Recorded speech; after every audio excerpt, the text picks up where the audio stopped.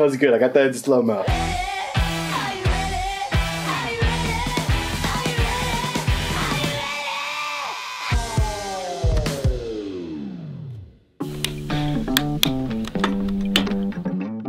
So we're getting all the like at least a couple of the women from USA Kilts from either production or shipping, and we're kind of like having them tell their stories about how working in this industry and working with Celtic clothing and how that like affects them and what their views on it, just to like share how like women they do have a presence here in this community and expressing their heritage and ways to do that basically.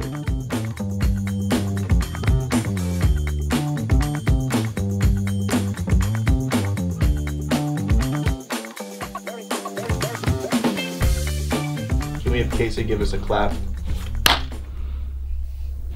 Was that a loud enough clap, Adam? Make a louder clap. That was good. Good job, Casey. Thanks.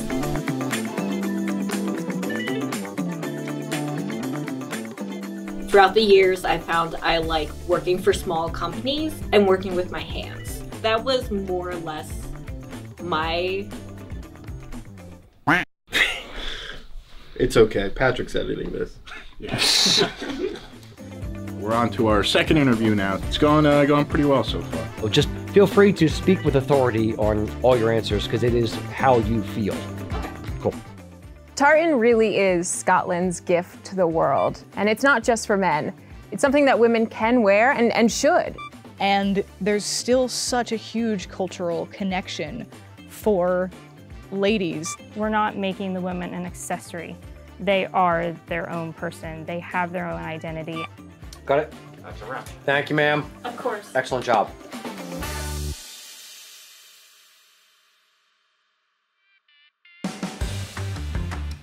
My name is Sophie. Um, I've been working at USA Kilts for over two years now. I was born and raised in France. I came right after college. I needed to learn English, and so I came as an au pair. I used to make costume for a theater. So this lady approached me to make costumes, clothes for her children with uh, a Welsh tartan, her family tartan. So this is how I found out about USA Kilts because she had gotten new cloth from here. My mother, my grandmother, my aunts taught me how to uh, sew when I was little. So I've been sewing pretty much all my life. Every kilt is different. Every day you work on a new tartan, different accessories. Never gets boring really. There are lots of challenges. Sewing tartan is not that easy actually. I really improved my skills. It took a while to master. The reward is to see the final product. I really love, you know, after working all those steps from the cloth to the final product, the kilt, that's the most rewarding for me. I did not know much about the culture itself. I've learned so much about tartans and about wearing the kilt. I love Isle of Skye, anything in the deep greens or the deep reds. I like that. My children keep me busy still. My youngest has a mini kilt and she actually wore it yesterday at school.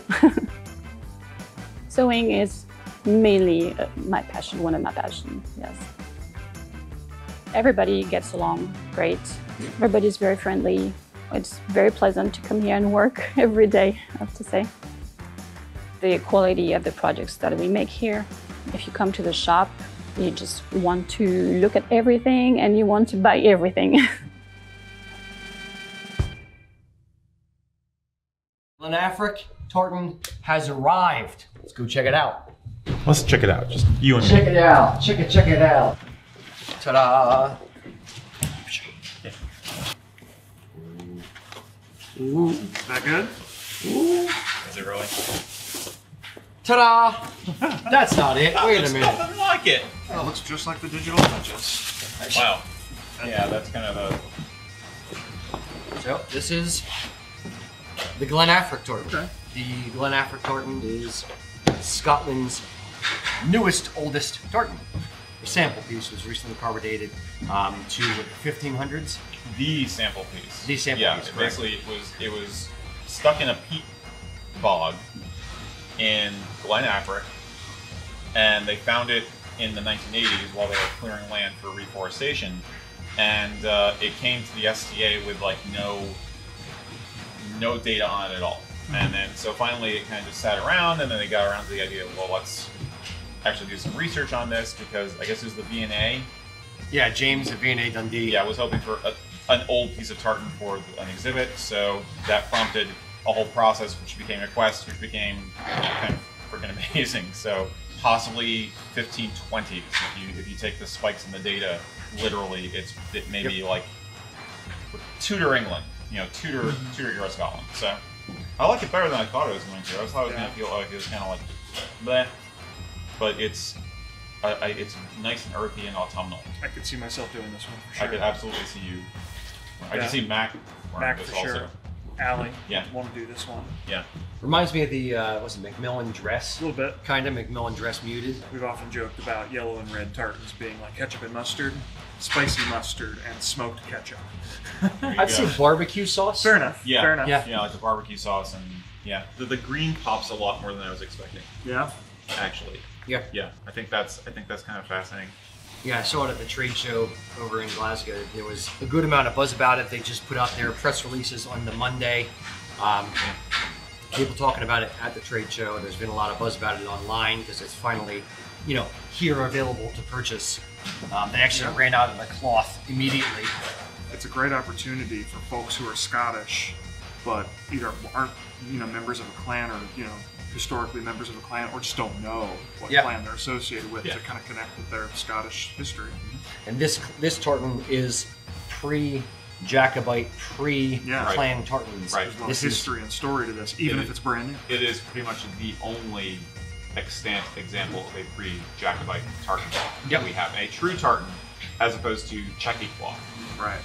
Also, cloth that was that used dyes, as opposed to just using different shades of wool from different sheep.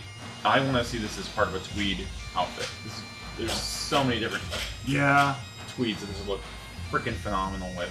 the fact that it was pre spinning wheel and how fine the individual thing. We're using the drop spindle to actually, you know, create the strands of yarn, single ply yarn, but it was they were using the drop spindle and the consistency they had on those individual threads of yarn. A master drop spindler. makes this distinctive from a modern tartan to me is the color palette. You don't see a lot of tartans that look a lot like these colors. The overall pattern feels like it could be contemporary enough. It feels like it could fit in with a new collection from House of Edgar. All these are new designs. Often This one that. has a very Mackay type vibe to it. Yeah. Mac- Like a Mackay weathered almost. I do like it. It's I like the, the gray and blue. I like this one for how distinctive it is from most Yeah. other color Yeah. palettes. Yeah, I kind of like that. They're they're playing with color and they're trying Right. to expand the realm of what To is their possible. To their credit. Correct. This one feels like it's got Mac all over it. Yeah. Uh, it's got browns. Just feels, dripping with Mac. Yeah, it feels like a flannel shirt. All right. So, moment of truth. How would you guys pleat this? I would, if I'm doing it, I'm doing an eight yard kilt, and I would do it to the set. Yeah. Um, it's this is gonna you gotta if you're doing it to this stripe, um, which is my preferred of the 2 you gotta love that yellow color. Yeah. Yeah, I do it to the set as well. Just so you get all of the flavors, you know? You want to get your spicy brown mustard and you want to get your Barbecue your, uh, sauce. Barbecue Your sauce. gourmet pickles. Yes. Ultimately, I think it's a winner. I think they'll I Yeah. think they'll do well with it. I, I think it's great. I'm happy that it exists. I'm happy that it's come back. I'm happy that when I first saw it, thinking like, you know, oh, I really hope they do some of this. I really hope somebody starts weaving it. Yep. I'm psyched. Woo-hoo. And scene. Fade black. Hey, Jayce. Oh lord. Here we go, buddy. Oh gosh. Looks like today I'm gonna be drinking some Balblair 12 year. Okay. this one's just like really acidic. It's like burning my entire mouth. This is three out of ten, I wanna say. Not great. okay. When I first said I want to make him gag on camera and react to whiskeys, what did you think? How has it gone as a piece of content? I thought it was stupid. In fairness, it is. Yeah. And I was happy to be proven wrong. I mean, it's still stupid, but it's the good kind of stupid. What kind of comments do we get on the videos of Jayce's faces? Jason needs to learn how to drink whiskey. We're working on that. That's the whole show. Usually people recommend a whiskey. Uh, we usually get a lot of, is Jayce single? It's strange. Strange. I went from being a pharmacy tech that was like, you know, barely saw the light of day or anything, to now my face is getting broadcast all over the internet. It's it's wild. Nowadays, whenever I see negative comments in there, I just kind of brush it off at this point. Um, it's supposed to be a silly, it's supposed to be a stupid like little bit. A little bit of a taste I've kind of been developing. I found that I like more of the peatier, kind of smokier blends occasionally, the Octomore or whatever, where it was like straight up a campfire, like I was just drinking it and it burned, it was like, it was really violent, but I liked it after. I went back in for a second sip, I wanted some more honestly. I like the fact that a bunch of the times whenever I'm talking with a customer out in the store or I'm talking with a customer over the phone, they'll mention something about the YouTube videos and then they'll throw in something like, oh, I like seeing their face or whatever, like, oh, that was a really nasty one after. And it's like, it really helps me feel like I'm connecting with the people that I'm talking to. Try new things. You don't know if you're gonna like it until you actually go out and try it and you experience it. You try what you don't like, what you do like. You have to find out what works best for you. Amen. Preach it, brother, preach it. Hell yes. I was getting cards for my wife and my daughter for Valentine's Day, I found one that was too good for sewing. I'm like, well, we got to get that for production. It would be weird if I got a card and gave it to one person in production that says, I love you so much. Oh So we're going to collectively, as a department, give them collectively, as a department, a Valentine's card. I love you so much. Boom. Holy. Okay, that's cool. I get it, right? Yeah, okay, okay, that- Like, I just bought it. I didn't have a plan. I'm like, we're doing Yeah. something with this. What should I even say? Thank I was you a for letting, teacher. I'm sorry. Thank you for letting us bother you all the time. Sure.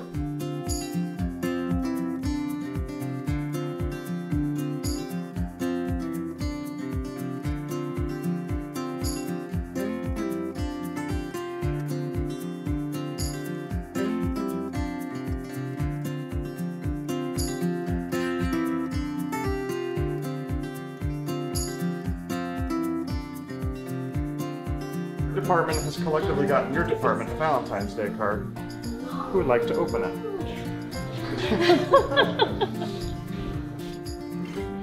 All right, it says, I love you so, S E W, much. Oh, my gosh! it's a pop up! That's cute. Oh, oh, whoa. Pull for note. All right, all right, everyone. It says, Thank you for letting us bug you. Ha! You keep me in stitches.